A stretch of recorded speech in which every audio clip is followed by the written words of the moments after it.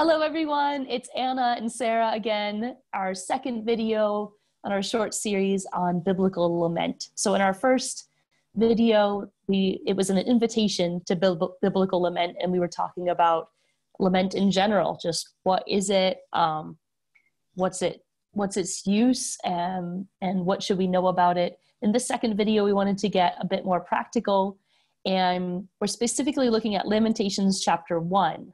Um, and there are at least two different uh, genres or two different ways of looking at the format of what's actually written there that we thought would be interesting to mention and then to say, you know, what, what does that tell us? Like, what does that format tell us about um, the content?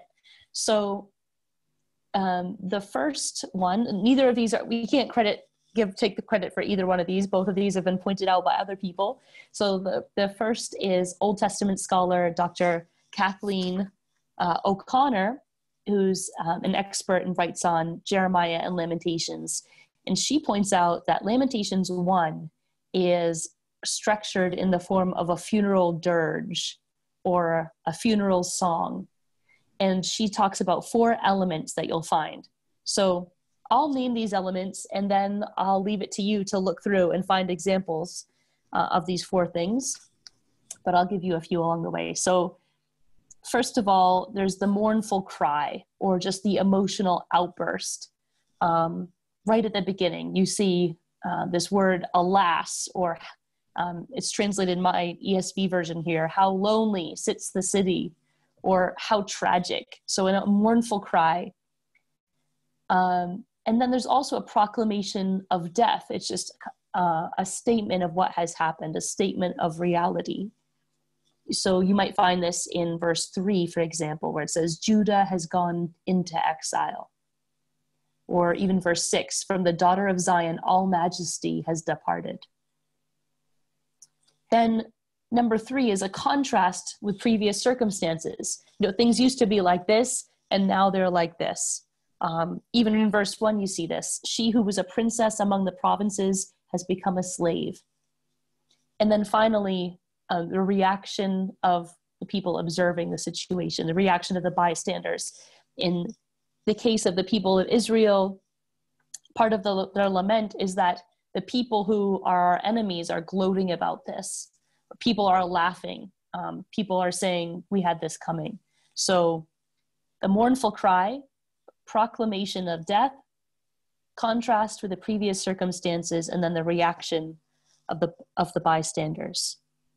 Um, but Sarah, there's another there's another thing that has to do with the format of how these are structured that you were going to mention. Yeah, I did just want to say too, real quickly, when we when we went through it in our Bible study, um, it was really fascinating because um, we we went through in terms of the coronavirus, and actually, it, it seemed like I related more to the bystander than I probably would have realized um, in if I hadn't gone through that process. So I just found that really fascinating. Um, but the other format that we see in Lamentations um, is pointed out by um, the author of the book, um, Prophetic Lament, which I think we had mentioned before. But um, Soong-Chang Rah writes of how the book of Lamentations is written in the form of a, an acrostic poem, which means um, in each chapter, each verse begins with a different letter of the Hebrew alphabet um, and descends in alphabetical order. So, loosely in English, it would be chapter 1, verse 1 starts with the letter A, chapter 1, verse 2 starts with the letter B, um, and so on um, until the end of the alphabet. And I found it so fascinating um, that the scripture itself was structured that way. Um, because the alphabet really symbolized not only the totality of uh, one's grief or suffering, um, from A to Z, a complete, um, a, a, complete expression of that. Um, but it also offered a boundary that allows an honest and thorough expression of pain, um, but also kind of brings a sense of order to um, what, what might otherwise be a very chaotic situation. And it provides um, an ending point to a season that might otherwise go on indefinitely. Um, so I did just want to read one quote from Soong-Chang Rah's book, and that quote is The acrostic reminds the lamenter that God orders the universe. In the midst of chaos and beyond the Im- immediacy of suffering, God demonstrates control. Even as the fullness of suffering is unleashed and the complete story is revealed, God remains faithful.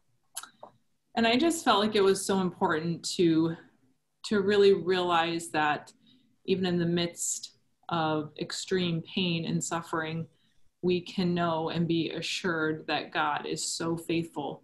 Um, yeah. And the situation is not in any way out of his control.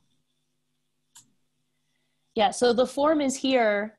Um, I think it. I think for us, it could be really useful to help us learn to do something that does not come naturally to us. I mean, as Sarah said, we did go through this as a group, and we're trying. We did a corporate lament together um, about coronavirus. So you could do that um, with a friend or a few people if you are able. Um, I think in the last video, we also said, is there an issue that God's bringing up to you, saying that um, this is something you need to deal with? You can't be in denial, but you need to bring this um, and express this to God. So if there is something like that, I really invite you to, in some time alone with God, maybe you write this down, maybe you write this out, or maybe this is just something you speak aloud to God.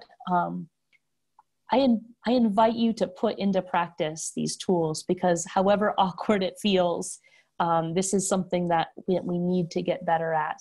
And just a final thing, I'd like to invite you to read at least Lamentations 1. I mean, just start, but read it out loud because I know I was surprised as I read it aloud. Um, I almost felt a little embarrassed, like, wow, this is really going on a long time um, even though it's only, as Sarah said, it's only 22 verses because it's just doing one for each Hebrew letter. So, um, but reading it aloud will show you the kind of language that um, that believers um, have used in, in expressing their honesty to God. And I think it will just give you a framework or an idea of the kind of range that you're invited to use with the Father who loves us so much. So we'll see you in our next video, hopefully. And thank you for being part of the series. Bye-bye. Two different formats, that Lamentations 1 that are found in Lamentations 1. Hold on. We can't really stop and re-record, so we'll just trust the editing. We'll cut this out and we'll start it again, right? Okay.